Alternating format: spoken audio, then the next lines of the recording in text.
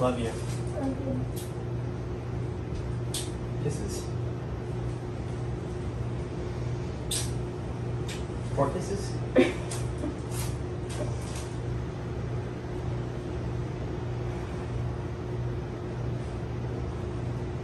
I really like having that countertop completely clean. Mhm. What was over there before? I know we had the coffee maker. What else was over there? Mm. Oh, that bowl, that fruit bowl. Also, can we get rid of all the pens and pencils? Mhm. I feel like they could, those can go in a drawer or something. You just got excited when you bought them, I think. I wanted to put them on display. My pens and pencils. what?